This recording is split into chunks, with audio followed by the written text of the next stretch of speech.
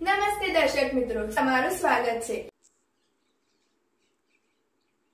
અમરેલી જિલ્લાના જાફરાબાદ તાલુકાના રોહિસા ગામે એક સાથે બે યુવાન આર્મીની ટ્રેનિંગ પૂર્ણ કરી વતન પરત આવતા ગ્રામજનો દ્વારા ભવ્ય સન્માન કરવામાં આવ્યું.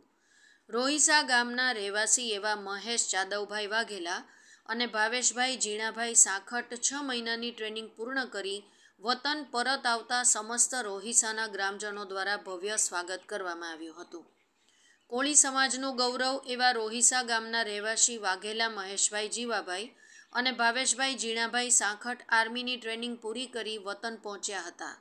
તે દરમિયાન આસપાસના ગ્રામ્ય વિસ્તારમાંથી બહોળી સંખ્યામાં લોકો ઉપસ્થિત રહી ધામધૂમથી સ્વાગત કરવામાં આવ્યું હતું.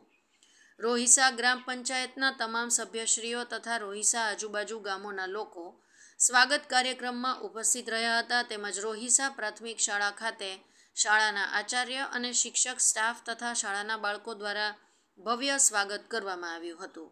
બહોળી સંખ્યામાં ગ્રામજનો અને આસપાસના વિસ્તારોમાંથી બહોળી સંખ્યામાં વિવિધ સમાજના લોકો અને આગેવાનો દ્વારા ભવ્યાતિ ભવ્ય ડીજેના તાલ સાથે સામયું અને સ્વાગત સન્માન કરવામાં આવ્યું હતું.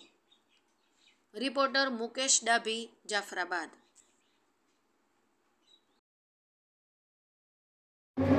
આપનું નામ? જીતુભાઈ મકવાણા હું વૈશા ગામના સરપંચ તરીકે સેવા આપું છું. અને આજે અમારે બે જવાનો આર્મી માટે આવ્યા છે. પહેલાં તો એના મા બાપને હું ધન્યવાદ આપું છું કે એને દેશની રક્ષા માટે મોકલ્યા છે. મા ભારતીની રક્ષા માટે મોકલ્યા છે.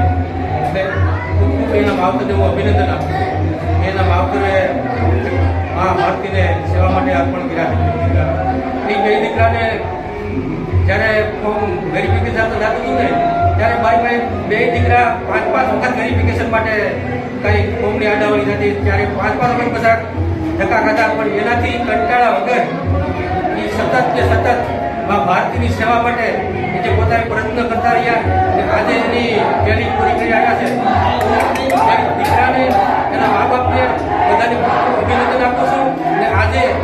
અમારા ગામનું તો નામ રોશન કરે ગુજરાતનું નામ રોશન કરે, ભારતનું નામ રોશન કરે, એવા હું બે છોકરાને આશીર્વાદ આપું છું. અને મારા તરફથી પણ કાંઈ પણ જરૂર પડે, અમારા ગામ તરફથી કાંઈ જરૂર પડે તો અમારું ગામ એની આપણી સાથે છે. બે દીકરા અને એટલું કઈ ભારત માતા કી જય, વંદે માતરમ.